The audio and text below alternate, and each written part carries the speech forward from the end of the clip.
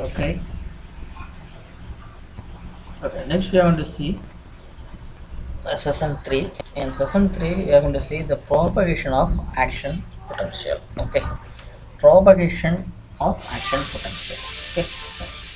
Uh, say the next slide. Okay. So this is our uh, first unit syllabus. So already we studied the origin of biopotential. Okay next we are going to see the propagation of biopotential biopotential propagation. The objective of this session is so student can understand what is propagation how biopotential is propagated from one place to another place. Or one location to another location. Or one point to another point. Okay? Right. And what is propagation? Generally what is propagation? So propagation means the moving from one point to another point okay. For example radio wave propagation. Okay consider an fm station. So an fm station uh, is present in uh, Tirunelveli currently okay. Right. So they are transmit the waveform. That's a modulated signal. That modulated signal is uh, propagate through the air okay from that transmitter antenna to our receiver antenna. Okay. So this is a propagation. That is a transferring or moving okay. Similarly uh, in our body uh, the pain is transferred from one organ to our cells. For example in our foot if we are having any injuries so the pain is transferred through the nerve system to the brain to sense the pain okay? If the transfer is not present we cannot sense the okay? So that is a propagation so the definition that means the, it is a general definition from dictionary. The act or action of propagating such as increase in numbers okay? Propagation means increase in number okay? That is also one of the meaning.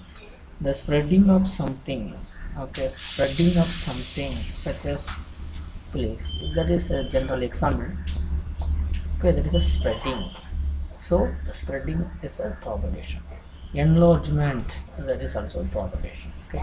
Here the propagation means we are take this action potential from one cell to another cell.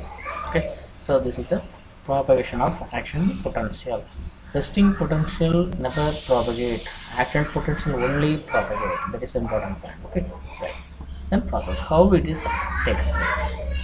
See when will action potential present?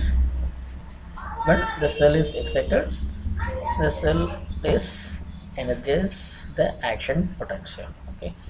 So the action potential produce some voltage okay? The action potential generates some voltage that is action potential voltage. This action potential voltage again excite surrounding cells okay again excite the surrounding cells.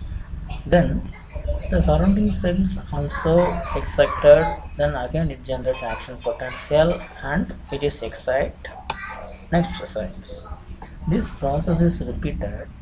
So during the time of the excitation the action potential generated and the ionic current is being flow ionic current is start flowing. Okay. So this ionic current again excite the neighboring cells. So this process repeated again and again. Okay. So the action potential is moving from one point to another point. This is all also same as the of the waves in the water. Okay. If you are making any vibration in the center of the water so that vibration is conducted on the some waves. That waves is moving from the center to the edge of the water okay.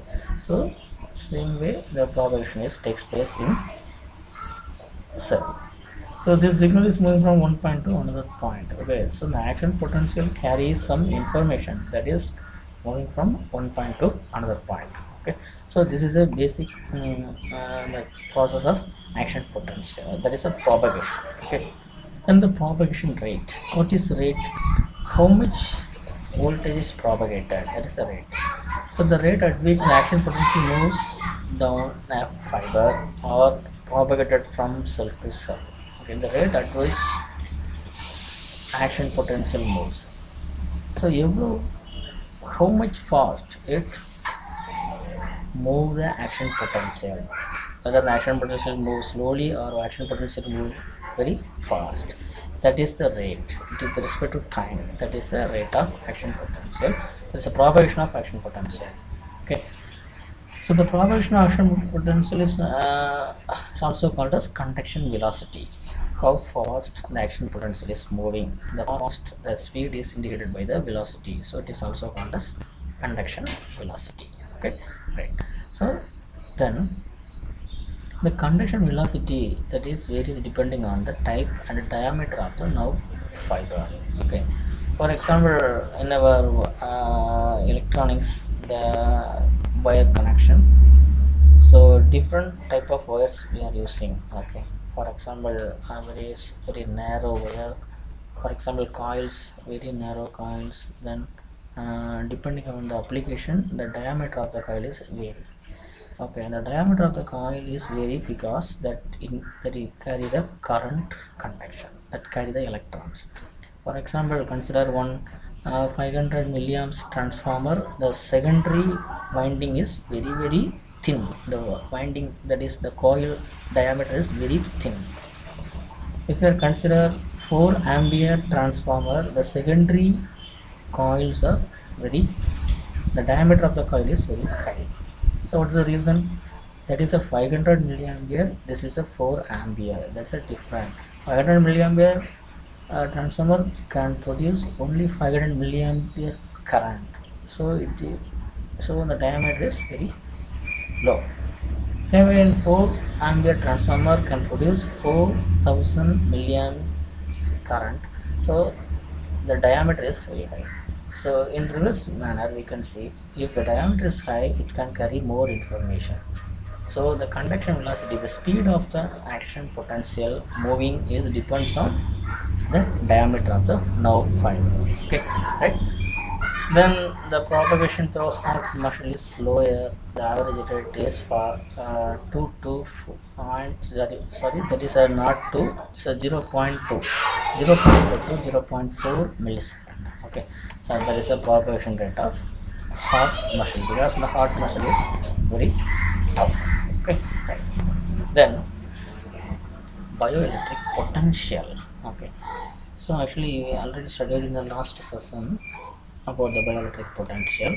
So bioelectric potential nothing but the measurement of bioelectric voltage of different position or different organ for example measurement of bioelectric potential in heart that is called electrocardiogram that is ECG then the measurement of bioelectric potential in brain potential of brain that is called as electroencephalogram that is EEG then measurement of bioelectric potential of uh, muscles that is electromyogram that is EMG okay similarly electroretinogram. Retina means the eye the retina okay.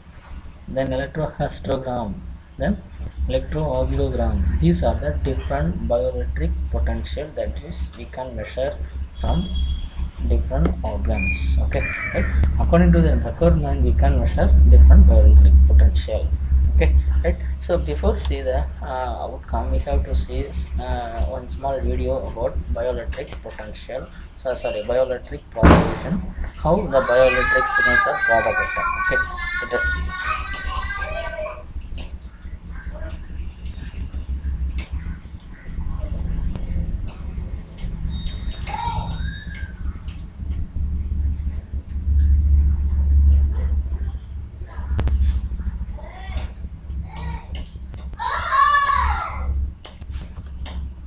An action potential, depicted as a red band, is propagated in one direction along the axon. During an action potential, the inside of the cell membrane becomes positive with respect to the outside. An action potential generates local currents that tend to depolarize the membrane immediately adjacent to the action potential. When depolarization caused by the local currents reaches threshold, a new action potential is produced adjacent to the original one. Action potential propagation occurs in one direction because the recently depolarized area of the membrane is in absolute refractory period and cannot generate an action potential.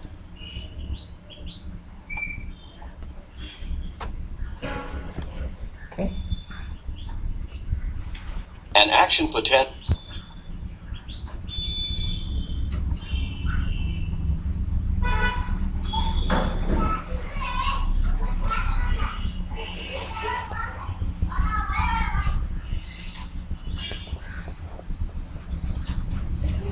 Myelination, sorry diameter, sorry. Uh, so this way the action potential is propagated from one place to another place. And another one important point is the action potential uh, propagated in single direction. Okay, according to the requirement the action potential is moving from forward direction and reverse direction. Okay right? So from this lesson you can understand about the propagation of uh, that is uh, you can understand about the propagation of bioelectric signal okay right? And uh, signals okay? Thank you